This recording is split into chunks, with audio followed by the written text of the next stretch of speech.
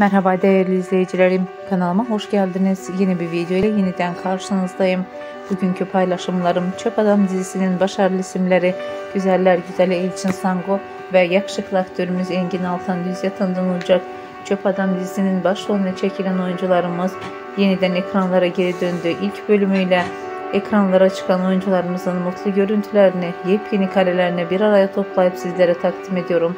Umarım beğenirsiniz. Benden bu kadar. Gelecek videolarımızda iyi haberler, güzel fotoğraflar sunmak dileğiyle. Hoşçakalın arkadaşlar.